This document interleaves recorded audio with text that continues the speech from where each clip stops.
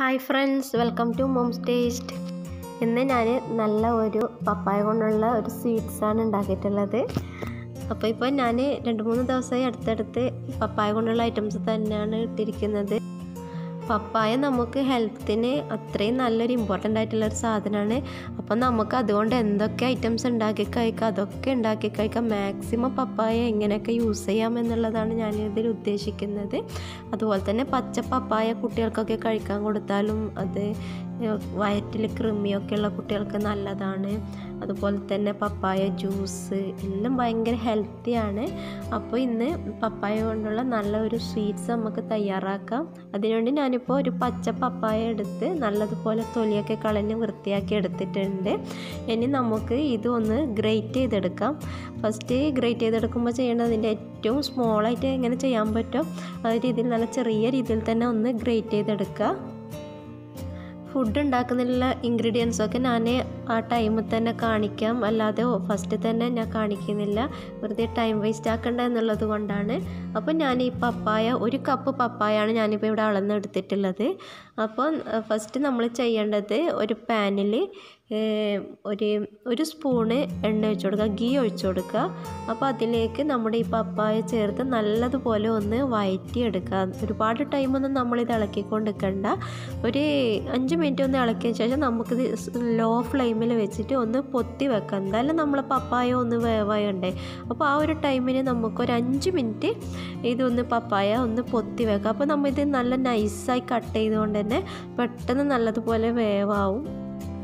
അപ്പോൾ നമ്മുടെ കപ്പക്ക വേവാവുന്ന ടൈം കൊണ്ട് നമുക്ക് ഇനി അടുത്ത ഐറ്റംസ് ഉണ്ടാക്കിയെടുക്കാം.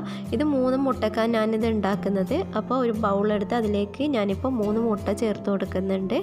അപ്പോൾ ഇതിലേക്ക് നമുക്ക് ആവശ്യത്തിന് പഞ്ചസാരയും ചേർത്ത് കൊടുക്കാം. ഞാനിപ്പോൾ ഇതിലേക്ക് മൂന്ന് ടേബിൾ സ്പൂൺ പഞ്ചസാര ചേർത്ത് കൊടുക്കുന്നുണ്ട്.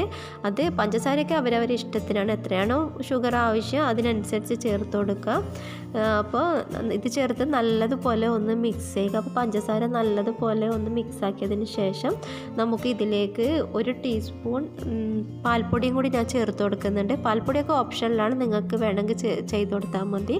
പിന്നെ കുറച്ച് ടേസ്റ്റ് ഉണ്ടാവും പാൽപ്പൊടി ചേർത്താൽ അത് ഒരു കാൽ ടീസ്പൂണ് ഏലക്കായ് പൊടിയും കൂടി നമുക്കിതിലേക്ക് ചേർത്ത് കൊടുക്കുക. ഇതെല്ലാം കൂടി നല്ലതുപോലെ ഒന്ന് മിക്സ് ആക്കുക. അപ്പോൾ മിക്സ് ആക്കിയതിന് ശേഷം ഇപ്പം നമ്മുടെ പപ്പായ നല്ലതുപോലെ വേവായിട്ടുണ്ട്. അപ്പോൾ നമുക്ക് ആ പപ്പായയും കൂടി എടുത്ത് ഇതിലേക്ക് ചേർത്ത് കൊടുക്കുക. ഇതും കൂടി ചേർത്തിട്ടും നല്ലതുപോലെ ഒന്ന് ഇളക്കിയെടുക്കുക. നിങ്ങൾ എന്റെ ചാനൽ ആദ്യമായി കാണുകയാണെങ്കിൽ സബ്സ്ക്രൈബ് ചെയ്യുക. അതിനുശേഷം ബെൽ ബട്ടണും കൂടി ക്ലിക്ക് ചെയ്താൽ ഞാനിടുന്ന എല്ലാ വീഡിയോസിന്റെയും നോട്ടിഫിക്കേഷൻ നിങ്ങൾക്ക് അപ്പോൾ തന്നെ ലഭിക്കുന്നതായിരിക്കും.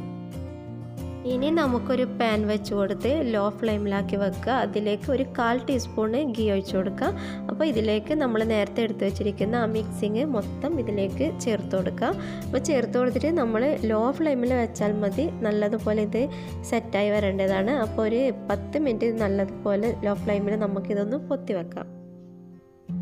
ഇപ്പോൾ പത്ത് മിനിറ്റ് കഴിയുമ്പോഴേക്ക് ഇത് നല്ലതുപോലെ സെറ്റായി വന്നിട്ടുണ്ട്.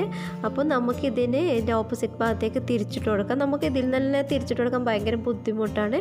അപ്പോൾ നമ്മൾ അത്രയ്ക്ക് റിസ്ക് എടുക്കാനൊന്നും നിൽക്കണ്ട. അപ്പോൾ ഈ പാനിലേക്ക് നമുക്ക് അതൊന്ന് ചേർത്ത് കൊടുക്കാം. അപ്പോൾ നമ്മുടെ പപ്പായ സ്വീറ്റ്സ് നല്ലതുപോലെ റെഡി ആയിട്ടുണ്ട്. നമുക്ക് വൈകുന്നേരം നാല് മണിക്കൊക്കെ കഴിക്കാൻ പറ്റിയ നല്ല ഒരു സ്നാക്കായിട്ട് ചായക്കൊക്കെ നല്ലൊരു സ്നാക്കായിട്ട് ഉപയോഗിക്കാം. നിങ്ങൾക്ക് എന്റെ ചാനൽ ഇഷ്ടമായെങ്കിൽ ഒന്ന് സബ്സ്ക്രൈബ് ചെയ്ത് സപ്പോർട്ട് ചെയ്യുക.